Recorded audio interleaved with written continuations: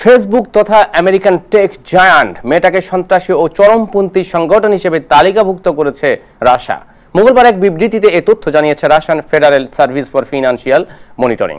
এর আগে গত ফেব্রুয়ারিতে রুশ ফোবিয়া বা রাশিয়া ভীতি প্রচারের দায়ে মেটাকে অভিযুক্ত করে মস্কো প্রশাসন। মস্কোর এমন পদক্ষেপের পর এক ঘোষণায় মেটা জানায় শুধুমাত্র ইউক্রাইনীয় ভূখণ্ডের ব্যবহারকারীরা রুশ আক্রমণকারীদের মৃত্যু কামনার মতো বক্তব্য মেটার অ্যাপগুলিতে প্রচারের অনুমতি পাবেন। ফলে মার্চের শেষের দিকে চরমপন্থী কার্যকলাপ চালানোর দায় রাশিয়ায় নিষিদ্ধ হয় ফেসবুক ও ইনস্টাগ্রাম। তবে অসংখ্য রুশ নাগরিক ভিপিএন এর মাধ্যমে এখনও এসব সামাজিক যোগাযোগ মাধ্যম ব্যবহার করছেন। নিষিদ্ধ হবার আগে দেশটিতে বিজ্ঞাপন ও অনলাইন ব্যবসার অন্যতম গুরুত্বপূর্ণ প্ল্যাটফর্ম হিসেবে ব্যবহার হতো ইনস্টাগ্রাম। রাশিয়ার এমন সিদ্ধান্তে তালেবান সহ অন্য সন্ত্রাসী সংগঠন ও রাশিয়া বিরোধী সংস্থার মতো সন্ত্রাসী সংগঠনের তালিকায় যুক্ত হলো মেটা।